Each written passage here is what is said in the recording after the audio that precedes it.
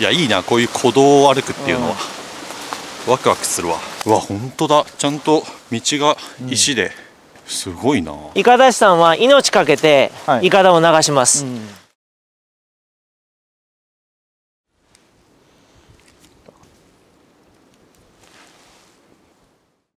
こんにちは。ヒストリカの岡安です。はい今日はかつてイカダシが使った道というところに来ていて、この辺りをガイドされている平野さんにご紹介いただこうと思っております。島津観光協会の平野さんは代々いかだ市の家系に生まれ自らも観光いかだに携わりながらいかだ市の道のガイドおよび保全活動を行っていますそもそもあのイカダシの道ってどんなところなんですか？えーっとですね昔は道路とかがなかったから、はい。材木をまあ売りに出すためにまあトラックで運ぶとかができないんですよね。現代のように運搬技術が発達する以前の時代険しい山々の連なる地域にとって河川は道路の役割を担っていました。いかだ府いかだのりとも呼ばれるいかだ市は600年の歴史を持つとも言われ山で切り出した木材でいかだを組み河川を下るという手法を用いて運搬に従事していた人々を指す言葉です。そんないかだ師たちが通勤時や自分の村へ帰るために歩いたのが現在いかだ市の道と呼ばれている古道です。北山川流域におけるいかだ下しは上流の上北山村河合から下流の新宮までをリレー形式でつなぐ請負仕事でしたそしてこの2つの区間を陸路で結ぶいかだ市の道はこの地で林業に従事する人々にとってなくてはならない道だったのですじゃあイカダシさんっていうのはこういう木を切って川に流す人っていうそういう認識なんですか？いやあのねこれがいくつもね、はい。あのー仕事が分担されてたんですよへだからいかだ師さんは例えばいかだを組んで流す、え。だけの。そうですね。例えばここに太い木があります、でこの木をいかだにして流しますってなった時に、はい。まずねこれ上に登っていくんですよ。上から皮を剥いてくるんです。はい。だから皮を剥いてどうするかっていうと昔の家って皮が必要だったから木の皮、はい。屋根ですね、はい。その仕事がまず一つあったんですよ。へでその次にこの木を切り倒す仕事が一つあったんですよ、で切り倒してこんな長いのを運べないから、運べるサイズにこぎる、うん。ちっちゃく切る仕事があったんですよ。そしてこれを大きな川まで運び出す仕事があったんですよ。え。で運び出したら今度はいかだに組む仕事、うんうん。そしていかだを流す仕事はい。だから昔はね山っていうのはものすごく賑やかだったんですよね、うんじゃあそういう山仕事をされる方皆さんが使う、はい。使ってた道がこれっていう。そうですね。林業って言ってますけどそこがめちゃくちゃ細分化されてたってことなんですね、昔はね。まあ、逆に言うとそれだけ儲かる仕事だったってことですよね。そうですね、うん。今日はその一部になる。んそうです。ほんの一部です、はい。ほんの一部です、さすがにちょっと全部はね難しいんで。そうです。はい。あの川の距離にしても120キロぐらいありますからここ今日は数メートル。です、ちょっとお話を聞きながら回っていきたいと思います、よろしくお願いします、はい、こちらこそよろしくお願いいお願いいたしたします。ますだからいかだしさんなんていうのはものすごくお金持ちだったんですよ。実は。えーまあお金持ちっつってもあのいかだしさんは命かけてはい。いかだを流します、うん上流から激流を下って、そうですよね。あのぶつかって亡くなる人もいっぱいいたんですよ。ええだからある地点では毎年数名の人が亡くなったって記録があるんですー、よね、ああそういう場所があるんですね。ありますね。だからそのいかだしさんって命かけてるから金がどんどん入ってきてもはい。全部使っちゃったんですよね。あなるほど。昭和初期とか、はい。大正時代かな一番儲かってたのは、まああのはっきりお金のあれが分かるのはねはい。大体今のお金で、えー月に100万ぐらいですね。ええー、すごい高級鳥だ。ーうん、そうなんです。だから本当にいかだしさんなんかはもう中学校卒業してすぐ弟子入りするとかね。なりたい職業ランキング1位に、そうそうなんですよ。えー、その時代のいかだ師の仕事は現代では考えられないほど過酷なものであったことは想像に難くありません。実際にいかだしであった平野さんの父親のお話を伺いました。うちの父は朝弁当1個持つんですよ、はい。弁当1個持って北山村まで歩くって言うんですよね。はい。北山村で行ったらもうイカダが組まれてるらしいんですよ。はい。そのイカダに乗ってずっと下ってくるんですよ、はいでその清流層の前ですちょうど。そこにイカダをつけといて一旦家に帰って一晩寝るんですよ。で次の朝早くに弁当を3つはい。持つんですよ、そしてイカダに乗るんですよ。で流していく途中でお昼の弁当1個食べるんです。で新宮の、まあ、河口のところに着いたら2個目の弁当を食べるんですよ、はい。でそのまま歩き始めるんですよ。そしてもう夜になっちゃうんですね。うん。夜遅くにこの山の中で3つ目の弁当を食べるんですよ。へへえで夜あの日は変わらないと思うんですけど、その日のうちに家に着いてーはい。一晩寝てはい。次の朝はい。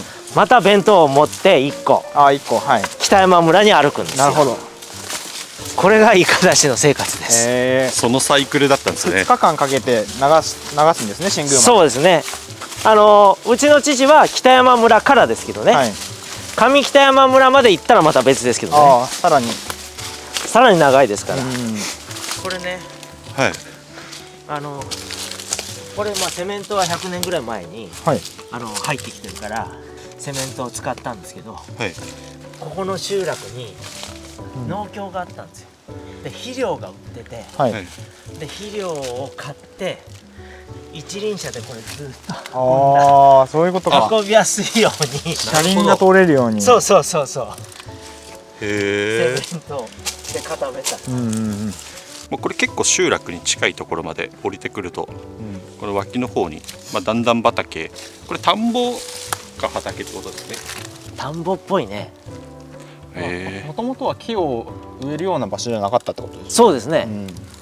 あ牛が乗るから大きな岩で大きな岩。組むんですよ。えー、崩れにくいんだ。あなるほど。昔は全部ねあの牛で耕してましたから、あそういう意味もあるんだ。へえちゃんと考えられてるんだね。あ鹿鹿鹿鹿。あ大きい野生の鹿を発見。あ逃げた。えどこの犬ですか？すこごい。れはね下の犬じゃないかなあそこの。放し飼いなんだ。マジか。すごい伸び伸びしてるわ。ずっと歩いていくとあのでっかい岩がはい。落ちてるんですよ。沢の真ん中に、その沢もねツルツルの沢なの。真っ平。らへえちょっと変わったような。ででっかい岩が真っ二つに割れてるんですよ。パッカンって。だから桃太郎。そうそうなんです。桃太郎岩。桃が割れたような。そうですね。えー、なるほど。まああの桃太郎はヒストリカもちょっとゆかりのある あの題材なんでね。でまあちょっと今からねあのその桃太郎岩に向かうためにこれからはちょっと車で移動するって感じですね、現金収入を得られる機会が稀であった時代においていかだしは高級鳥が見込める数少ない職業でした。しかしながら高い報酬と引き換えに常に命の危険と隣り合わせの仕事でもあり一人前になるにはそれ相応の修行が必要であったといいます。そんないかだしの実態を知る上で参考になる資料として1889年に下北山村に生まれいかだしとして生涯を生きた瀬古口菊蔵という人物の記録が残されています。菊蔵は小学校を4年で卒業した年に養子に出された。そして14歳になった年にいかだの見習いとなった。普通は1 5 6歳で弟子入りをするという。いかだしであった養父と義兄に鍛えられた。竿の使い方が下手だと竿で叩かれるので頭はコブだらけだった。いかだを壊そうものなら川に放り投げられた。いかだを壊すと後に続くいかだが通れなくなるので特にきつく叱られるのである。いかだしはその腕で賃金が決まるので身内には余計に厳しく仕込んだ。義兄があまりにきつく鍛えるので母親がかわいそうだと言って兄と口論したこともあったぐらいだ。何度も逃げようと思った。菊蔵はいかだ流しの師匠が一番やかましかったしいかだ乗りの師匠ほどきついのはいなかったと振り返る。桃太郎岩ロック。岩ロックになっちゃっ確かに。桃太郎岩岩ってことだな、うんこれ。たもともとは何の道なんですこれまあその奥地に行く集落の道であったりいかだしさんが歩いた道であったり、うん。あと鉱山の人が歩いた道であったり。まあ、ここもいかだしの一部ってことですよね。いかだしの道ですね、あそこ見えます？あっこから真っ平らに変わっていくの、ねうわ本当なんでだあんな形になっちゃったんだろこれはねマグマだからまあ一つのうでかい岩じゃないですか、そこをまあ雨降ったら、あの石が上流から流れてきますよね。でコロコロコロコロ流れてきて削られていって、まあ真っ平らになっていくんですよね。なるほど。一枚岩だからああやって浸食きれいに。そうですね。うん。あれがすごいな。お難所。お返し転ばずに行けるか？転んだら今年の目標もう終わるから。1月で。そうここは足元気をつけてください。はい。お返し特にな。ねだいぶ綺麗だねこれねえいやーすごい。この沢の様子が本当に変わりましたね。面白い。さっきまで岩ゴツゴツだったのがもうね ツルツルにそうでしょ。え。これ滑っていいけそうだな、このまま。ツルッツルだ。なんだこの地形は。おおついに。これだよ。桃太郎岩。あすごい、なんかこうやって割れてるとさなんか上から降ってきてパカって割れた感じするよあねー確かにね。この桃太郎岩お返し必していけどな。かなりでかいんですよねこれ。ここからまた沢の感じが変わっていくんですよ。あ本当ですね。また。あ本当だ。またゴツゴツの沢に変わったな、これも全部ね石垣組んでんの。あそう本ですね。当確かに。あっちまで石垣だぞもともとあるさ岩の上に石垣をこうだ確かに。ね。醸成してってる。なんかさすごい感覚が求められそうだよな。うん。ここに組むぞっていうさ、うん。いや本当職人技なんだろうな、うん。こういうの。上から下までずーっと斜めになってるところの上にはい。そうですよね。組んでるんですよ、そうまでして道を作ったのがすごいな。すごい、まあ左にもありますけどこれ石垣全部。うわ本当だこれも畑かな。いやいいなこういう古道を歩くっていうのは、ワクワクするわ。いや鼓動はいいね。ね。いや今年はねたくさん歩こうと思ってさ お前転ぶリスクをどんどん上げてっとるよそれ。これを見なさいよ。新調したんですよ 靴を。靴をな。うん。気合い入ってる。そう本当に。2024はちょっと歩こうかな。歩く年。うん。そして転ばない。すごいな。この辺も石垣だらけだ。こんな感じで。この辺まで工作しに来てたんでしょうね人々が。ああいう風に岩とかを削ってね。まあここは違いますよ。ここは違いますけど、あのここにね木を渡してはい。ダム作るんですよ、はい。へでダム作ったら、まあ、木を横にするなり縦にするなりして、で真ん中は扉みたいに開けれるようにしとくの。はい。でダムを作って木だと水漏れていきますからあのこういう苔はい。苔とかを木の間に詰める。ーうんはいはい。そうすると完全にダムになって水が溜まります。はい。だから溜まったところで何するかったら材木持ってきてそこでイカダ組むんですよ。あー。なるほど。でその真ん中あたりの扉をガーンって抜くの。はい。そうするとブワーッと流していく、えー、そのやっぱ推進っていうか流れの力がないと、そうですね。まあこんなちっちゃい川はね、で多いところで7 8 0メートルに1個そういうダムがあったんですよ、えー、そうすると向こうも水が溜まってくるじゃないですか、はいでこっちも水が溜まってくる、はい。そのあのー勢いでどんどんどんどん下へ流していく。なるほど。へえすごい。でもここはねどうか多分やったとしても管流し一本流しです。うん。一本ずつ流していくっていう。ちょっと川が小さすぎる。そうそうそう。まあちっちゃいとこでもイカダは流してはいたんですけどここは多分流してないと思いますねすごいな、うん。なんかそのダムでさうまく滑って切れるイメージが全然わかんけど うまいことやったんですね。ねそしたらちょっと集落のあの後だけ見ましょうかね、はい。ちょっとここ通りにくいけど。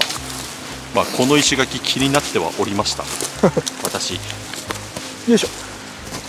いかだ市の道の道沿いにはかつて人々が暮らした集落の跡が点々と存在しています今となっては石積みが残るのみとなったかつての生活の跡を覗いてみましょう。うわでっけえ石垣だ。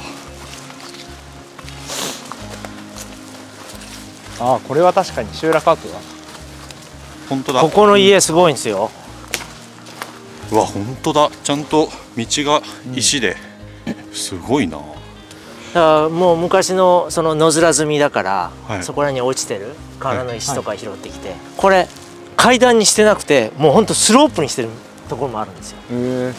これ車椅子で上がっていけるじゃんみたいなとこがあって、あもうコンクリートとかではなく普通ので石石で。石で、えーできるんですすごっ。へえうん、でなんでそんなことしたんかろうと思ったんですよね。はい。で聞いたら昔はねあのちょっとでも楽したいじゃないですか。はい。であのー当時呼び名はガタガタ車って呼んだらしいんですけど、はい。あのーなんていうのリアカーみたいなやつ、はい。ああれでできるだけ家の近くまで荷物を運びたかったって。あなるほど。だからスロープになってるんです。よ、えわざわざそこまでするかとか思いまー、した。昔のバリアフリーだ。そうそうなんですよ。本当に。この豪邸をちょっと探索させてもらいましょうまあもっと豪邸あるんですけどね。あそうなんあですそうなんですね。まあでも今日は行けないです。なるほど。まだまだあるんだ。いや立派な石垣。いやすごいな。ああでもあでも広いな。広い。こっちもだもんね。あ本当だ。これあそうだね。基礎あるね家の、ちゃんと。これはもう完全に住居跡だないつぐらいに離村したんだろうか。川で仕事をしてる人がいた場合とかはね、あのまあ通常こういうのを見るとほとんどの人は何て言います？これ何？って穴が掘ってある。ああなんかトイレとか。って思うじゃない、はい。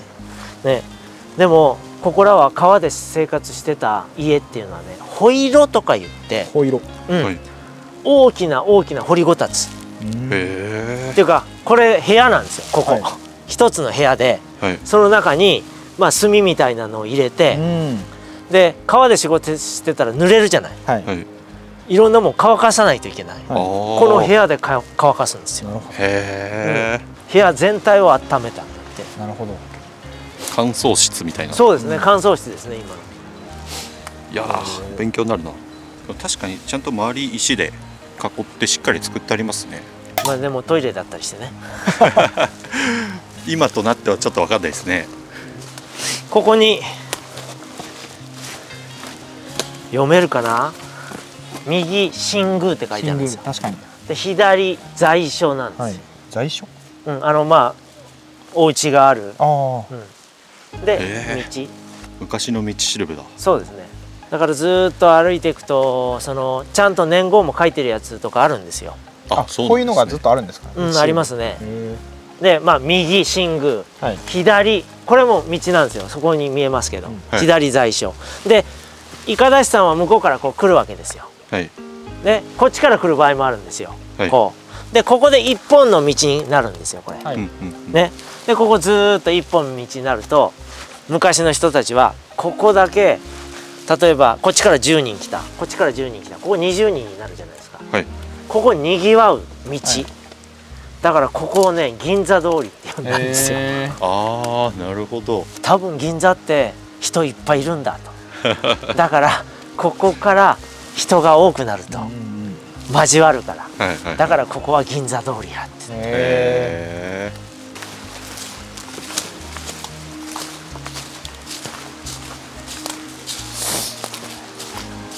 向こうもねよう見てもらったらもうずーっとあるんですよね。石垣が組まれてるんですよね。対岸も全部石垣っすね。すごいな。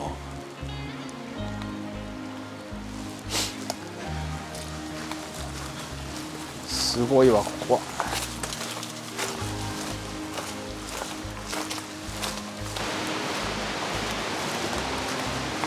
やっぱここここいいねやっぱり。うん綺麗。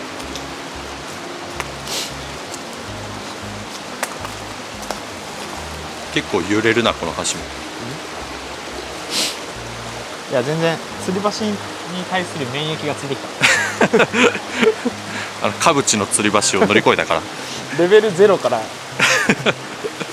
そうだよな。うん。いきなり多分難易度高めのとこから挑んでるから。そう。あんぐらいじゃびくともしないんだ、